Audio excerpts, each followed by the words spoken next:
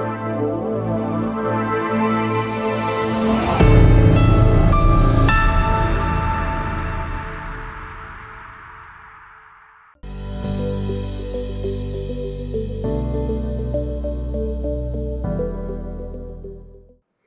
everyone, I am Dr. Vimi Bindra. I am a robotic and laparoscopic endometriosis excision surgeon at Apollo Hospitals and Cope Clinics, Hyderabad. बहुत सारे patients हमसे पूछते हैं कि क्या ये एंडोमेट्रोसिस सर्जरी इंश्योरेंस में कवर्ड होती है कि नहीं? अभी सब इंश्योरेंसेस कवर करते हैं कि नहीं, उसके लिए आपको इंश्योरेंस प्रोवाइडर से ये डिस्कस करना है।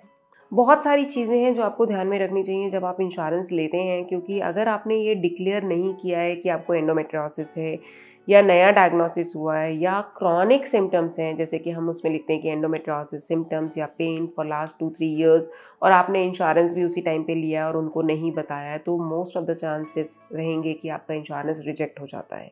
और एंडोमेट्रोसिस को ये क्रॉनिक डिज़ॉर्डर में डालते हैं तो ये आपने अगर इंश्योरेंस आज लिया है तो मोस्ट ऑफ़ द इंश्योरेंसेस आपका सर्जरी कवर करेंगे दो या तीन साल के बाद।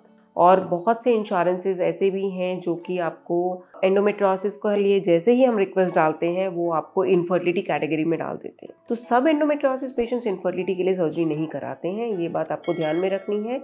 और इसके लिए आपको, आपकी आवाज़ भी उठानी है कि हमारा दर्द के लिए भी हमारा सर्जरी हो रहा है। क्रॉनिक पेन पेन के लिए भी हम सर्जरी करते हैं। बावल एंडोमेट्रोसिस के लिए सर्जरी करते हैं। ब्लैडर एंडोमेट्रोसिस के लिए सर्जरी करते हैं। लेकिन इंश्योरेंस प्रोवाइडर्स ऐसा सोचते हैं कि endometriosis is equivalent to infertility endometriosis है तो इनफर्टिलिटी है और हम सारे सर्जरीज इनफर्टिलिटी के लिए कर रहे हैं। कभी कभी तो इंश्योरेंस प्रोवाइडर्स को जब हम लेटर्स भेजते हैं तो वो ये भी नहीं देखते हैं कि पेशेंट का एज क्या है फैमिली कंप्लीट हो गया है कि नहीं।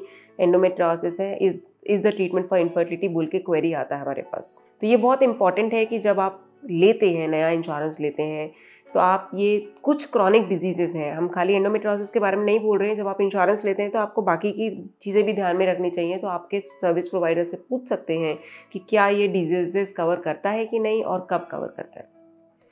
तो as a part of initiative endometriosis foundation of India हम ये भी चाहते हैं कि इंश्योरेंसेस एंडोमेट्रोसिस को बिगिनिंग से ही कवर करें।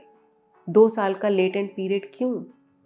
ये एक ऐसी डिज़ीज़ है जो 50-60 परसेंट पेशेंट्स में सीवियर पेन करता है। एज कॉमन एज डायबिटीज़ तो उसको कवरेज क्यों नहीं दिया जा रहा है? क्यों दो साल का ट्रीटमेंट हम बोलते हैं कि आप डिले नहीं करिए डायग्नोसिस में, हम बोलते हैं डिले नहीं करिए ट्रीटमेंट में, लेकिन कुछ पेशेंट्स हैं जो अफोर्ड नहीं कर सकते हैं, लेकिन उनका इंश्योरेंस ट्रीटमेंट दो साल के पहले नहीं देगा। और ये सर्जरीज थोड़ा कॉस्टली होते हैं, क्योंकि इसमें मल्टीपल टीम्स इन्वॉल्व हैं। मल्टीपल ऑर्गन इन्वॉल्व होते हैं, सर्जरी का ड्यूरेशन डिफरेंट हो सकता है। किसी किसी को इतना ख़राब एंडोमेट्रोसिस हो सकता है कि रोबोटिक असिस्टेंस इज़ मस्ट तो कॉस्ट भी वैरी करता है as per the procedure involve and the specialities involve तो insurance providers should look into it and they should start providing endometriosis as early as the patient और customer takes a insurance from them तो ये बहुत important है, आपका clarity होना चाहिए। कभी कभी पेशेंट्स हमारे पास आते हैं कि हमारे पास इंश्योरेंस है, लेकिन हमें नहीं पता होता है कि उन्होंने कब लिया है और हम रिक्वेस्ट भेजते हैं और वो एक महीने पहले उन्होंने लिया और वो रिजेक्ट हो जाता है। तो ये आपको क्लैरिटी रहना है कि एट प्रेजेंट कोई भी इंश्योरेंस आपको एक से दो साल के अंदर एंडोमेट्रोसिस ट्रीटमेंट नहीं देती है अनटिल अनलेस आपका कोई कॉपोरेट टाइप है जिसमें for any disease they will cover लेकिन पर्सनल इंश्योरेंसेज में या प्राइवेट इंश्योरेंसेज में यूजुअली ये कवर नहीं होता है। ये क्लैरिटी आपको रखना है। कवरेज कितना है इंश्योरेंस का वो भी रखना है क्लैरिटी रोबोटिक सर्जरी बहुत से इंश्योरेंसेस कवर नहीं करते हैं। एंड वो हमेशा क्वेरी भेजते रहते हैं कन्वेंशनल सर्जरी क्यों नहीं कर रहे?